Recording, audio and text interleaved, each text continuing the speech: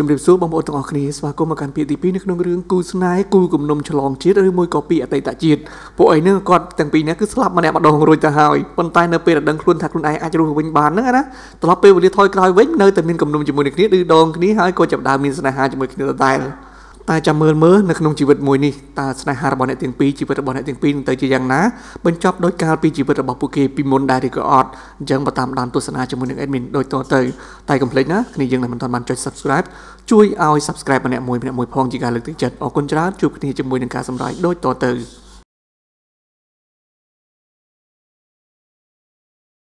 ពេលនេះតួស្រីរបស់យើងវ៉ាន់វ៉ាន់ហ្នឹងគាត់កំពុងតែចាប់ផ្ដើមបញ្ឆោតទៅកាន់ប្អូនស្រីដែលជាកូនចុងណា ព្រោះដឹងថាទាំងម្ដាយទាំងកូនចុងហ្នឹងគឺអត់មានបំណងល្អចំពោះនាងទេគឺចង់ធ្វើឲ្យនាងខូចគេឈ្មោះចង់ចាប់នាងដាក់ថ្នាំអញ្ចឹងទៅដើម្បី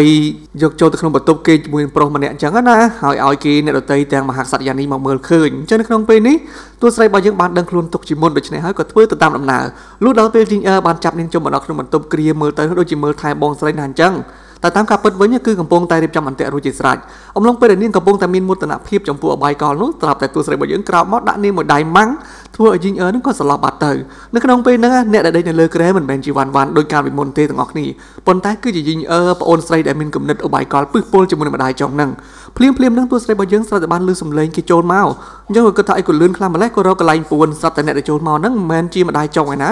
តើជាទូប្រុសរបស់យើងឯនេះវិញទូស្រីក៏សួរថាសៀវសុនជីខ្លាញ់ខ្ញុំបានឲ្យលិខិតលេងលះជាមួយនឹងលោកហើយតើលោកនៅដើរតាមខ្ញុំធ្វើអីទៀតនៅពេលនោះសុនជីក៏ចាប់ខ្ទប់មាត់ជាប់ថាកុំមាត់អីព្រោះអីមានគេកំពុងតដើរចូលមកហើយម្នាក់នោះគឺហួសិងយៀនគឺជាអ្នកប្រុសម្នាក់ដែរណាមានគេឈ្មោះគួរសមដែរហើយនៅក្នុងពេលហ្នឹងដូចជាគេបានដឹងទុកជាមុនថាមានគេរៀបចំនារីស្រីស្អាតម្នាក់ទុកឲ្យគេនឹងកំដរអញ្ចឹងណាអញ្ចឹងក៏ចូលមកហ្នឹងពីគិតអីច្រើនទេគឺចាប់ដើមយកតែម្ដងក៏ប៉ុន្តែគាត់ស្វឹងមានបានធ្វើអីសង្លប់បាត់ទៅ កលេចមកមើលតួប្រុសតួស្រីពីរនាក់នេះធ្វើត្បិតតែមានគំនុំជាមួយនឹងគ្នាបន្តិចមែនក៏ប៉ុន្តែដល់តែពេលមកនៅក្បែរខ្លួនគ្នាអញ្ចឹងមានអារម្មណ៍ដូចមិនទេដូចជារៀងនឹងស្នេហាពុះកញ្ជ្រួលត្រឡប់មកវិញទៅហើយលែងដឹងពេលវេលាលែងដឹងកលៈទេសៈអស់ខាងតួស្រីរបស់យើងនេះគឺមានគំនុំជ្រាលជ្រៅណាស់ប៉ុន្តែពេលអញ្ចឹងក៏រៀងភ្លេចខ្លួនបន្តិចដែរទាំងអស់គ្នារៀងសងអារម្មណ៍ទៅជាមួយនឹងតួប្រុសវិតែនឹងប៉ះគ្នាទៅហើយនេះនេះចំមកប៉ះហើយប៉ុន្តែនៅពេលហ្នឹងម្ដាយចុងក៏នាំមកចាស់ស្ត្រីហ្នឹងចូលទៅដល់ល្មមនៅក្នុងពេលហ្នឹងគាត់គិតថាគឺជាវ៉ាន់វ៉ាន់ទេប៉ុន្តែដល់កលេចមើលវ៉ាអឺពុប អើគឺកូនស្រីរបស់ខ្ញុំតើអញ្ចឹងក៏លែងមានអ្វីនិយាយប្រាប់ទៅកាន់មហាក្សត្រយ៉ានីបន្តទៅទៀតទៅស្រាប់តែពេលយីងអើភ្ញាក់ដឹងខ្លួនឡើងមកវិញក៏គិតថាមិនបានជាខ្ញុំនៅកន្លែងហ្នឹងអញ្ចឹងដល់ទៅពេលម្ដាយចុងនេះឃើញស្រមោលគេលេងលើមលេងលើមនៅខាងក្រោយក្រែនោះអញ្ចឹងដូចមានអារម្មណ៍ថាណាគេ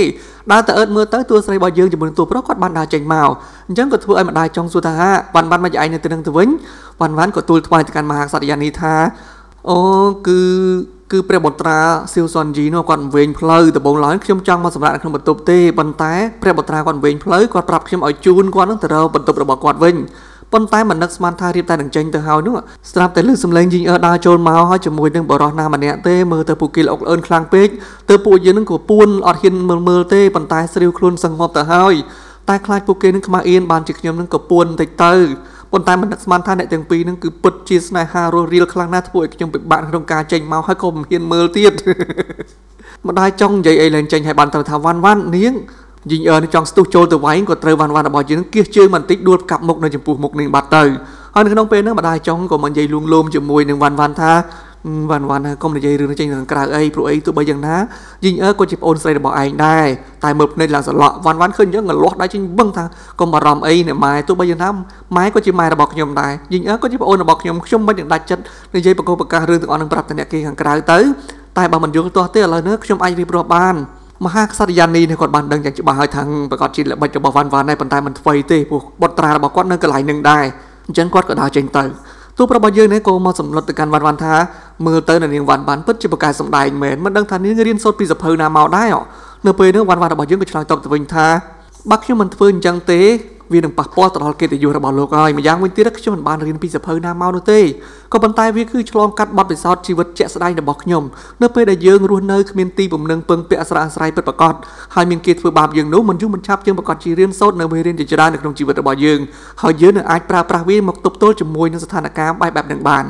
ដល់ពេលវ៉ាន់វ៉ាន់ចេញពីផុតពីនឹងមកដើរលំហែនៅខាងក្រៅនេះក៏គិតថាវីវហើយម្ដងនេះតើគិតយ៉ាងម៉េចទៅ ចុះរឿងដែលឪពុករបស់ខ្ញុំត្រូវបានគេចោទប្រកាន់ថាគឺជាជនក្បត់ជាតិនោះតើខ្ញុំត្រូវដោះដោះស្រាយយ៉ាងម៉េចហើយតើវានឹងកើតឡើងនៅក្នុងពេលណាភ្លាមៗហ្នឹងក៏មានឃាតករម្នាក់មកចាប់គ្នាទាំងថ្ងៃត្រង់តែម្ដងទាំងអស់គ្នាហើយយកគ្នាមកចងដៃចងជើងញាប់មាត់ជាប់កប់គ្នាទាំងរស់តែម្ដង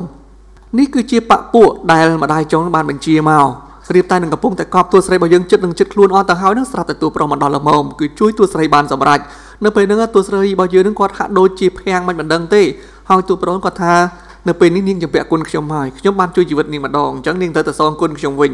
ភ្លាមភ្លាមហ្នឹងស្រាប់តែមានឃាតករម្នាក់ទៀតបានលបបាញ់ព្រួយមកទូប្រុសគាត់ក៏យកខ្លួនរបស់គាត់ទៅពាំងចំនួនប៉ុន្តែគាត់ធ្វើឲ្យព្រួយនោះប៉ះនឹងកករបស់គាត់បន្តិចដោយសារតែព្រួយមានជាតិពុលធ្វើឲ្យទូប្រុសរបស់យើងស៊ីវសុនជីនឹងគាត់ក៏សន្លប់បាត់បង់ស្មារតីបាត់ទៅនៅក្នុងពេលហ្នឹងវ៉ាន់វ៉ាន់គឺចង់ដើរចោលគេណាស់ក៏ប៉ុន្តែគិតសពគាត់គ្រប់ទៅហ្នឹងហាក់ដូចជារីរែចិត្តមិនបណ្ដឹងទេដំបូងឡើយគឺថាបដាចោលគេទៅគឺស្លាប់រឿងគ្រប់យ៉ាងប្រកាសជាចប់ឪពុករបស់ខ្ញុំប្រកាសជាអត់មានបញ្ហាដូចគ្នា ព្រោះអីរឿងទាំងអស់កើតឡើងគឺដោយសារតែគេក៏ប៉ុន្តែវាមិនដាច់ចិត្តហើយតែមនុស្សដែលធ្លាប់ស្រឡាញ់អញ្ចឹងណាហើយឃើញគេស្លាប់នៅចំពោះមុខបែបហ្នឹងទៀតចិត្តរីរែកទៅមកទៅមកហ្នឹងក៏សម្រេចចិត្តថាបឺតពឹសនឹងចេញពីកកឲ្យគេតែម្ដងទៅដើម្បីឲ្យគេនឹងរស់រៀនមានជីវិតបន្តទៅទៀតអំឡុងពេលដែលកំពុងតែបឺតជញ្ជក់បឺតជញ្ជក់យកជាតិពឹសចេញពីក្នុងរបួសរបស់សៀវសុនជីហ្នឹងគេក៏បានដឹងខ្លួនហើយគេគិតថាមុនហ្នឹងនាងស្អប់ខ្ញុំខ្លាំងណាស់កាលពីមុនកាលពីជាតិមុនគឺនាងស្អប់ខ្ញុំជួជាតិចង់ស៊ីខ្ញុំទាំងរស់ ប៉ុន្តែមិននឹកស្មានថានៅក្នុងពេលនេះនាងបាជាត្រឡប់មកជួយសង្គ្រោះជីវិតរបស់ខ្ញុំបែបនឹងវិញនោះទេនៅក្នុងពេលហ្នឹងអាស៊ីវសុនយីគេដឹងខ្លួនមកគេនិយាយថាក្រែងនាងមិនចង់ជួយខ្ញុំទេហើយមិនចង់នៅក្បែរខ្ញុំទេមិនបានជាមកជួយខ្ញុំមកជក់ចិត្តពឹសអញ្ចឹងវ៉ាន់វ៉ាន់ថាទោះបីយ៉ាងណាក៏ដោយខ្ញុំរៀបការជាមួយឈីងអានក្នុងពេលឆាប់ឆាប់ហ្នឹងហើយអញ្ចឹងខ្ញុំចាត់ទុកលោកដូចជាប្អូនថ្លៃរបស់ខ្ញុំទៅហើយអញ្ចឹងគ្រាន់តែបងថ្លៃជួយប្អូនថ្លៃមានតែតោះខអីហ៎ លុះពេលបន្តិចក្រោយមកឈីងអានគេក៏បានមកដល់នៅពេលដែលឃើញអ្នកទាំងពីរនៅជាមួយនឹងគ្នាបែបហ្នឹងម្យ៉ាងមួយទៀតឃើញសៀវសុនជីដូចជាត្រូវថ្នាំអំពុលទៀតអញ្ចឹងគេមានការងឿងឆ្ងល់ខ្លាំងណាស់ឯងត្រូវថ្នាំអំពុលមិនអត់សុនជីសុនជីថាត្រូវហើយកុំតែបានបងថ្លៃជួយខ្ញុំទេម្លេះប្រហែលជាខ្ញុំនឹងបាត់បង់សង្ខារបាត់ទៅហើយនៅក្នុងពេលហ្នឹងវ៉ាន់វ៉ាន់ថាខ្ញុំជួយខ្ញុំជួយប៉ុន្តែខ្ញុំប្រើដៃទេគឺខ្ញុំយកដៃច្បាច់ជាតិពឹសមិនអញ្ចឹងទេគេប្រកាសជាស្លាប់នឹងពេលនេះឈីងអានគឺគេមានវិរៈស្រីខ្លាំងណាស់ គេថាគេមិនអាចការពារវ៉ាន់វ៉ាន់បានសំទោសផងវ៉ាន់វ៉ាន់បើមិនអាចការពារអូនបាននៅក្នុងពេលហ្នឹងវ៉ាន់វ៉ាន់ក៏បានប្រាប់ទៅកាន់ឈីងអានថាគួរតែប្រយ័ត្នប្រយែងចំពោះស៊ីវសុនជីបន្តិចទៅតែគេម្នាក់ទេប៉ុន្តែយើងមិនអាចទុកចិត្តអ្នកដទៃបានក្រៅតែពីខ្លួនយើងនោះទេគេរំលឹកឈីងអានអញ្ចឹងណានៅក្នុងពេលហ្នឹងឈីងអានថាបានបងនឹងចងចាំសម្ដីអូនទុកប៉ុន្តែបងមើលរឿងមួយគឺឆ្ងល់បងលើថាអូននឹងមានគុជមួយដែលគុជនោះគឺជាគុជមានទាំងគូ បាក់សីទាំងគូបាក់សីភ្លោះដែលមានអត្តន័យថាគូស្នេហ៍នឹងរស់នៅជាមួយនឹងគ្នាអស់មួយជីវិតប្រសិនបើពួកយើងមានវាម្នាក់មួយចំហៀងហើយនោះគឺជារបស់អូនមែនអត់តើបងអាចសុំវាពីអូនមួយចំហៀងបានដែរឬទេ នៅក្នុងពេលហ្នឹងធ្វើឲ្យវ៉ាន់វ៉ាន់របស់យើងនឹងគាត់នឹកឃើញរឿងរ៉ាវកាលពីអតីតជាតិឬក៏ពីជាតិមុនពីជីវិតរបស់នាងពីមុនអញ្ចឹងណាដែលថាគុជមួយហ្នឹងនាងពិតជាមានមែនប៉ុន្តែកាលពីមុនវិញគឺធ្លាប់ត្រូវបានស៊ីលសុនយីហ្នឹងគឺដណ្ដើមយកអញ្ចឹងពួកគេគឺស្រឡាញ់គ្នា បានឲ្យគុជគ្នាទៅវិញទៅមកទៅហើយគឺទស្សស្រីរបស់យើងវ៉ាន់វ៉ាន់បានសម្រេចចិត្តថាយកស៊ីវសុនជីគឺជាបរិសុទ្ធនៅក្នុងជីវិតរបស់នាងតែម្នាក់គត់ក៏ប៉ុន្តែមកដល់ពេលនេះវិញក៏ធ្វើឲ្យវ៉ាន់វ៉ាន់របស់យើងនឹកឃើញថាទៅហើយអារឿងពីមុនពីហួបាត់ទៅហើយគេគឺជាមនុស្សអាក្រក់យើងបាត់នឹងច្បាស់ហើយអញ្ចឹងយើងគួរតែចេះស្រឡាញ់មនុស្សនៅចំពោះមុខទើបនាងក៏បានឆ្លើយតបទៅកាន់ឈីងអានវិញថាមិនអីទេឈីងអានចាំនៅពេលយប់មង្គលការរបស់យើងអូនប្រកាសជាឲ្យបងមួយចំហៀងចាក់ជីមិនខាន ក៏ប៉ុន្តែបន្ទាប់ពីនឹងមកវ៉ាន់វ៉ាន់ក៏ជាតែងឿងឆ្ងល់ចំពោះចិត្តរបស់ខ្លួនឯងនេះចិត្តដល់ថ្ងៃមង្គលការរបស់ពួកគេទាំងពីរនាក់គឺនាងជាមួយនឹងឈិញអានទៅហើយមិនបានជានាងដូចជាមិនសប្បាយចិត្តទាល់តែសោះអញ្ចឹងអញ្ចឹងក៏ដើរគិតបដាតែម្នាក់ឯងនឹងឯងស្រាប់តែមានដៃមួយលូកចេញមកពីខាងក្រោយដូចជាឃាតករអញ្ចឹងមកច្រានវ៉ាន់វ៉ាន់របស់យើងទម្លាក់ចូលទៅក្នុងស្រះទឹកក្នុងផ្ទះហ្នឹងទៅហើយមើលទាំងអស់គ្នាស្រះទឹកនៅក្នុងផ្ទះសោះជ្រៅដូចជាសមុទ្រអញ្ចឹងលូកដល់ពេលធ្លាក់ចូលមកហើយឃើញត្រីឃើញអីនឹងដែតពេញនឹងហែលពេញទៅក្នុងស្រះទឹកហ្នឹង ភ្លាមនឹងទូប្រុសគាត់ក៏លូតចុះមកជួយសង្គ្រោះវ៉ាន់វ៉ាន់តាន់ពេលវេលាមិនតែប៉ុណ្ណោះគឺថែមទាំងបញ្ចូលខ្យល់ឲ្យថែមទៀតផងហើយក៏ហែនឡើងទៅលើវិញអូដូចជាជម្រៅរាប់សិបម៉ែត្រចឹងស្រះទឹកក្នុងផ្ទះសោះហ្នឹងដល់ថ្ងៃស្អែកឡើងនឹងឯងវ៉ាន់វ៉ាន់ក៏ចាប់មានអាការៈមិនស្រួលនៅពេលដែលឪពុកបានហៅគ្រូពេទ្យមកពិនិត្យគ្រូពេទ្យថាអស់សង្ឃឹមមកអញ្ចឹងហើយក៏ធ្វើឲ្យឪពុកនៅវិញគឺចាប់ផ្ដើមខ្សោយសន្លប់ដែរទៅនៅក្នុងពេលនេះនៅក្នុងផ្ទះរបស់វ៉ាន់វ៉ាន់អ្នកបម្រើក៏ចាប់ផ្ដើមនិយាយពាក្យចាំអារាមថា ពួកគេធ្លាប់ឮចាស់ចាស់ដំណាលថាអ្នកដែលចិត្តស្លាប់សល់តែប្រហែលថ្ងៃទៀតស្លាប់ហ្នឹងពលឹងរបស់គេនឹងប្រកាសជាចេញមកដើម្បីសងសឹកអ្នកដែលធ្វើបាបខ្លួនអញ្ចឹងនៅពេលនោះយីងអើក៏ចាប់ដើមភ័យនៅពេលនាងដើរក្នុងផ្ទះតែម្នាក់ឯងនោះឃើញសមោលដូចជាខ្មោចលងអញ្ចឹងក៏ធ្វើឲ្យយីងអើនេះភ័យខ្លាចខ្លាំងមែនទែនហើយក៏លុតជង្គង់ក្រឹបនៅចំពោះវិញ្ញាណខ្មោចដែលនាងបានប្រទះឃើញនឹងទាំងភាពភ័យខ្លាចហើយសារភាពកំហុសថាសុំទោសផងសុំទោសផងមិនមែនជាកំហុសរបស់ខ្ញុំទេ ខ្ញុំគ្រាន់តែជួលគេនឹងឲ្យច្រានបងស្រីរបស់ខ្ញុំទម្លាក់ទឹកមិនតិចទេប៉ុន្តែមិននឹកស្មានថាគេចង់សម្លាប់នាងអញ្ចឹងទេហើយម្យ៉ាងវិញទៀតអ្នកដែលចាប់បងស្រីរបស់ខ្ញុំកាលពីថ្ងៃមុននឹងមិនមែនជាខ្ញុំទេប៉ុន្តែគឺម៉ែខ្ញុំបញ្ជាឲ្យក្រុមចៅព្រៃគេគ្រាន់តែចាប់វ៉ាន់វ៉ាន់ទៅអំភ័យទេប៉ុន្តែមិននឹកស្មានថាក្រុមចៅព្រៃទាំងអស់នោះបែរជាចង់សម្លាប់វ៉ាន់វ៉ាន់អញ្ចឹងមិនមែនជាកំហុសរបស់ពួកយើងទេដល់តែពេលអញ្ចឹងទៅមួយសន្ទុះក្រោយមកនឹងឪពុកក៏ចេញមកខាងពិតទៅគឺជាល្បិចរបស់ឪពុកជាមួយនឹងវ៉ាន់វ៉ាន់ដែលបានរៀបចំឡើងព្រោះដំបងឡើយនឹងឪពុកអត់ជឿសម្ដីរបស់វ៉ាន់វ៉ាន់ដែលបានទៅទូពិតប្រាប់ទៅកាន់ឪពុកថា បដាយចុងជាមួយនឹងប្អូនចុងរបស់នាងនឹងគឺមានកំណត់អាក្រក់ចំពោះនាងបែបហ្នឹងទេអញ្ចឹងសាឡបងទៅគឺឃើញថាអ្នកទាំងពីរគឺពិតជាមានកំណត់អាក្រក់មែនទើបឪពុកនោះក៏បានបញ្ជាឲ្យគេយកអ្នកទាំងពីរទៅឃុំទុកដើម្បីរងចាំដាក់ទោស វ៉ាន់វ៉ាន់កំពុងតែដែរសប្បាយចិត្តព្រោះអីល្បិចរបស់ខ្លួនបានសម្រេចចាត់ការម្ដាយចុងជាមួយនឹងប្អូនអាក្រក់នឹងបានក៏ប៉ុន្តែភ្លាមនោះទូប្រុសក៏ស្កាត់ហៅវ៉ាន់វ៉ាន់មកសួរថានាងរៀនចេះល្បិចទាំងអស់នឹងមកពីណាទៀតហើយមិនក៏បានជានាងដូចជាប្លែកខ្លាំងម្ល៉េះឥឡូវហ្នឹងនៅពេលនោះវ៉ាន់វ៉ាន់ក៏តបទៅវិញថាព្រះបុត្រាខ្ញុំព្យាយាមគេចវេះពីព្រះបុត្រាអត់ចង់បង្កចំនួនជាមួយនឹងព្រះបុត្រាទេមិនបានជាព្រះបុត្រាចេះតែមកតាក់ទងជាមួយនឹងខ្ញុំម្ដងហើយម្ដងទៀតអញ្ចឹង ល្បិចទាំងអស់នេះខ្ញុំគ្មានរៀនចេះមកពីណាទេក៏ប៉ុន្តែនៅពេលមួយដែលយើងនឹងត្រូវបានគេធ្វើបាបខ្លាំងពេកអញ្ចឹងវាប្រកាសជាធ្វើឲ្យយើងនឹងចេះតែអូតូម៉ាទិកទទួលបានបទពិសោធន៍ជាក់ស្ដែងនៅក្នុងព្រៀងព្រៀងហ្នឹងស្រាប់តែឈីងអានគេក៏បានហៅវ៉ាន់វ៉ាន់អូននៅក្បែរហ្នឹងមែនអត់អូននិយាយជាមួយអ្នកណាគេវ៉ាន់វ៉ាន់ក៏ចេញមកថាអូនអូនអូនអត់មាននិយាយមួយណាគេផងចាំអូនបកស្រាយនៅពេលក្រោយបានអត់ កំពុងតែនាំឈីងអានដើរចាក់ចេញទៅមិនចង់ឲ្យគេឃើញសេវសុនជីហ្នឹងសេវសុនជីនោះវិញគាត់ធ្វើចំលែងជាឆ្មាវ៉ាន់វ៉ាន់ថាអូឆ្មាទេឆ្មាបនេចរឆ្មាអត់ផ្ទះនៅឆ្មាដាច់សង្វែងកុំខ្វល់ជាមួយនឹង VA តោះយើងញ៉ាំសួររបស់យើងវិញតោះឈីងអានតោះចាប់ពីពេលនឹងមកនៅពេលនេះសៀវសុនជីក៏ចាប់ដើមឆ្ងល់ថាវ៉ាន់វ៉ាន់ហ្នឹងគឺនឹកឃើញទៅចងចាំរឿងអតីតជាតិរបស់ពួកគេហ្នឹងមុនដែរឬក៏អត់ទេមើលទៅដើម្បីជំរះមន្ទិលមួយនេះគាត់ត្រូវតែពិសោធន៍វ៉ាន់វ៉ាន់មើលចាំមើលមើលតើវ៉ាន់វ៉ាន់មានការចងចាំមានគំនុំជាមួយនឹងគាត់ដូចជាការសង្ស័យរបស់គាត់ដែរឬក៏អត់ គឺគំនុំដ៏ជ្រាលជ្រៅហ្នឹងអញ្ចឹងថ្ងៃស្អែកឡើងនឹងឯងសៀវសុនយីក៏ចាប់ដើមឲ្យវ៉ាន់វ៉ាន់យកសិភៅបញ្ជីនៅក្នុងផ្ទះគ្រួសារថាងគឺផ្ទះរបស់នាងហ្នឹងណាយកមកត្រួតពិនិត្យជាពិសេសដើម្បីរកមើលថាមានកំហុសឆ្គងកន្លែងណាដែរឬក៏អត់នៅពេលនោះវ៉ាន់វ៉ាន់ក៏ងឿងឆ្ងល់ថាមិនបានជាប្រវត្តិត្រាថ្មីថ្មីហ្នឹង ចាប់អារម្មណ៍ចំពោះគ្រួសារខ្ញុំខ្លាំងម្ល៉េះមិនបានជាមកមើលសិភៅគណនេយ្យសិភៅបញ្ជីក្នុងគ្រួសាររបស់ខ្ញុំអញ្ចឹងវ៉ាន់វ៉ាន់ក្នុងចិត្តចាប់ផ្ដើមសង្ស័យថាប្រហែលជាសៀវសនយីនឹងចង់ចាប់ផ្ដើមទម្លាក់កំហុសឲ្យឪពុករបស់នាងដោយកាលពីជីវិតរបស់នាងកាលពីមុនហើយអញ្ចឹងនៅក្នុងពេលហ្នឹងគឺនាងខឹងខ្លាំងមែនទែនហើយសៀវសុនយីគេនិយាយដូចដងថាមិនបើខ្ញុំចង់ពិនិត្យព្រោះវាគឺជាការងាររបស់ខ្ញុំយ៉ាងម៉េចទៅដែរនាងមានអារម្មណ៍រអ៊ីខ្លួនមែនទេនាងខ្លាចហ៎វ៉ាន់វ៉ាន់ថាខ្ញុំគ្មានតែខ្លាចអីទេប៉ុន្តែខ្ញុំគ្រាន់តែការពារខ្លួន ព្រោះវាអាចកើតមានរឿងមិនល្អចំពោះគ្រួសាររបស់ខ្ញុំគ្រប់ពេលវេលាបាននៅក្នុងពេលនោះសៀវសុនយីក៏ហៅឈ្មោះវ៉ាន់វ៉ាន់ថាងវ៉ាន់វ៉ាន់មើលទៅគេដូចជាចង់និយាយចង់សួរនាំទៅកាន់វ៉ាន់វ៉ាន់មែនតើរឿងដែលគេសង្ស័យនឹងចឹងប៉ុន្តែឈីងអានបានមកដល់ហើយក៏ហៅវ៉ាន់វ៉ាន់ទៅញ៉ាំអាហារនៅក្នុងពេលហ្នឹងគេហៅទាំងសៀវសុនយីទៅទៀតប៉ុន្តែវ៉ាន់វ៉ាន់ថាប្រហែលជាព្រះបត្រាសៀវសុនយីគាត់រវល់គាត់មិនអាចទៅបានទេអញ្ចឹងឈីងអានកុំទៅរំខានគាត់អីនៅពេលនោះសៀវសុនយីក៏ឆ្លើយឌឺវិញថាណានាគេថាខ្ញុំរវល់ខ្ញុំអាចទៅបានតើចាំខ្ញុំទៅជាមួយអ្នកទាំងពីរទៅញ៉ាំអាហារជាមួយនឹងគ្នា មកដល់កន្លែងញ៉ាំអាហារហ្នឹងទាំងអស់គ្នាគឺជាភោជនីយដ្ឋានដ៏ល្បីមួយដែលគេរៀបចំមុខម្ហូបតាមតំបន់តាមស្រុកតាមទីរបស់គេជាពិសេសគឺជាចំណងចំណូលចិត្តរបស់វ៉ាន់វ៉ាន់ទៅទៀតហើយសៀវសុនជីគេឃើញអ្នកទាំងពីរនោះផ្អែមល្ហែមជាមួយនឹងគ្នាអញ្ចឹងគេខឹងគេអន់ចិត្តគេនេះកាលពីមុនហ្នឹងគេដឹងខ្លួនហើយថាគេអាឡែស៊ីជាមួយនឹងស៊ុបសណ្តែកដីនេះស៊ុបប្រទាក្រហមហ្នឹងណាប៉ុន្តែគេយកមកញ៉ាំឌឺនៅចំពោះមុខរបស់វ៉ាន់វ៉ាន់របស់យើងហើយវ៉ាន់វ៉ាន់អត់ខ្វល់ទៅញ៉ាំអីញ៉ាំទៅចង់អាឡែស៊ីអាឡែស៊ីទៅនាងអត់ខ្វល់ដូចកាលពីមុនទេភ្លាមភ្លាមនោះ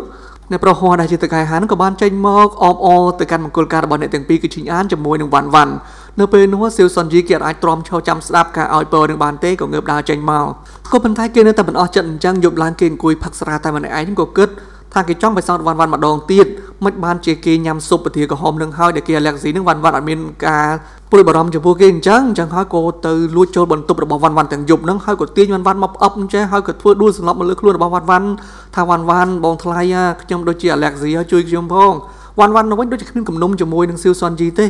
គឺចាប់ដើមមើលថែគេពិនិត្យអាការៈរបស់គេទៅតែម្ដងទៅកន្លែងមកមើលនៅខាងឈីងអានវិញការពិតទៅនឹងគេមិនមែនជាកូនបង្កើតរបស់មហាក្សត្រយ៉ានីទេគឺជាកូនរបស់ស្នំឯក ប៉ុន្តែមេដារបស់គេនឹងគឺបានស្លាប់បាត់ទៅហើយប៉ុន្តែមុននឹងស្លាប់នោះគាត់បានពឹងពាក់ទៅឲ្យលោករាជគ្រូជូកើនឹងជួយឈីងអានដើម្បីឲ្យគេនឹងអាចដណ្ដើមអំណាចឡើងសោយរាជបានអញ្ចឹងហើយរាជគ្រូជូកើនឹងគាត់ក៏ព្យាយាមខ្នះខ្នែងរកគ្រប់វិធីសាស្ត្រទាំងអស់ដើម្បីបង្កើតអំណាចបង្កើតកងទ័ពទៅឲ្យឈីងអានប៉ុន្តែឈីងអានវិញគេថា ខ្ញុំមិនមានមហិច្ឆតាធ្វើជាស្ដេចដណ្ដើមរាជបល្ល័ង្កអីនោះទេខ្ញុំគ្រាន់តែចង់រស់នៅជាមួយនឹងមនុស្សដែលខ្ញុំស្រឡាញ់អស់មួយជីវិតតែប៉ុណ្ណោះហើយណាមួយទៀតនេះមិនមែនជាតំណែងរបស់ខ្ញុំផងហ្នឹងខ្ញុំត្រឹមតែជាកូនរបស់ស្នំឯកទេអញ្ចឹងតំណែងមួយនេះគួរតែទុកឲ្យកូនរបស់មហាក្សត្រយ៉ានី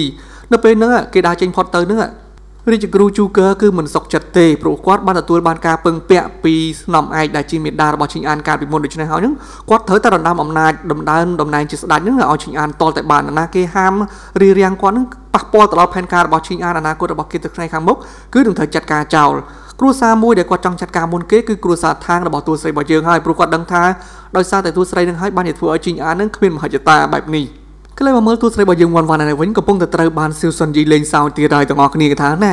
បងថ្លៃមិនបានជាបងមុខក្រហមអញ្ចឹងគាត់ទៅនៅក្បែរខ្ញុំបន្តិចសោះហ្នឹងហើយគ្នានោះមិននៅមិនឲ្យមុខក្រហមមិនបើមានមនុស្សប្រុសមកណែបនិតចិត្តកាយនិយាយពីផ្អែមល្ហែមញ៉ាស់ញងអញ្ចឹងហ្នឹងស្រាប់តែភ្លាមនោះឈិញអានក៏មកគោះទ្វារតែវ៉ាន់វ៉ាន់អូនគេងហើយឬនៅបងមានរបស់មួយចង់មកឲ្យអូននៅពេលនោះវ៉ាន់វ៉ាន់របស់ជើងអត់ហ៊ានបើកទ្វារអស់ទេទាំងអស់គ្នាអឺតលឹមក្បាលអញ្ចឹងថាឈិញអានថ្មនឹងទៅហើយមករកខ្ញុំធ្វើអីដែរ ឈិញអានថាបងមានរបស់មួយចង់ឲ្យអូនបងមិនអាចទប់ចិត្តបានហើយគាត់អាចពជាពេលបានទៀតទេនេះគឺជារបស់តែមួយគត់ដែលមេដារបស់បងត្រៀមសម្រាប់ឲ្យគុណប្រសារបស់គាត់ឲ្យទៅកាន់វ៉ាន់វ៉ាន់រួចវ៉ាន់វ៉ាន់ថាអូឥឡូវខ្ញុំទទួលយកហើយខ្ញុំមកងុយគេងអស់កម្លាំងណាបងត្រឡប់ទៅវិញទៅគាត់ក៏បិទទ្វារចូលទៅខាងក្នុងបាត់វិញទៅប៉ុន្តែការពិតទៅ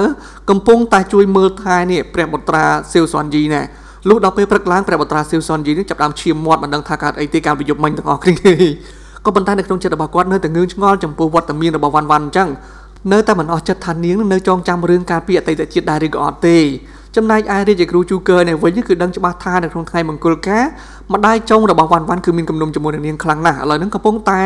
ទៅជួលចៅព្រៃមួយក្រុមឲ្យមកចាប់ខ្លួនវ៉ាន់វ៉ាន់នៅក្នុងថ្ងៃមង្គលការហ្នឹងហើយអញ្ចឹងគាត់នឹងលេងឲ្យឈុតធំតែម្ដងគឺបន្ថែមឲ្យវគ្គពិសេសនៅលើថ្ងៃមង្គលការហ្នឹងទៅទៀត គឺរុញទូចបដោយទឹកធ្វើគ្រួសារថាហ្នឹងកាន់តែរលំរលាយទៅណាគ្រាឯតួស្រីរបស់យើងវ៉ាន់វ៉ាន់នេះវិញឆ្ងល់ខ្លួនឯងចិត្តដល់ថ្ងៃមង្គលការរបស់ខ្លួនទៅហើយមិនបានជាអត់មានអារម្មណ៍សប្បាយចិត្តអញ្ចឹងហើយចិត្តតែនឹកគិតទៅដល់សៀវសុនយីសៀវសុនយីនៅវិញចិត្តតែភ្លឹកភ្លឹកមើលសភៅមើលអីសភៅគ្មានអក្សរសោះហ្នឹងគេមើលមួយថ្ងៃវល់ល្ងាចទៅហើយហើយអួតប្រាប់ទៅកាន់អ្នកបម្រើរបស់គេថាគេកំពុងតែធ្វើការរវល់ខ្លាំងណាស់ប៉ុន្តែធៀបពិតវិញអ្នកទាំងពីរកំពុងតែសោកសង្រេង